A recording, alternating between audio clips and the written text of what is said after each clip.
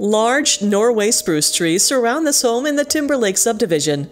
Features include a family room with a fireplace, a remodeled kitchen with breakfast dining, four bedrooms, three baths, a full basement, a two car attached garage, a large deck, and a screened patio. The fenced in backyard includes a hot tub, fish pond, and storage shed. Check out this must home by scheduling a tour with Mike Hill.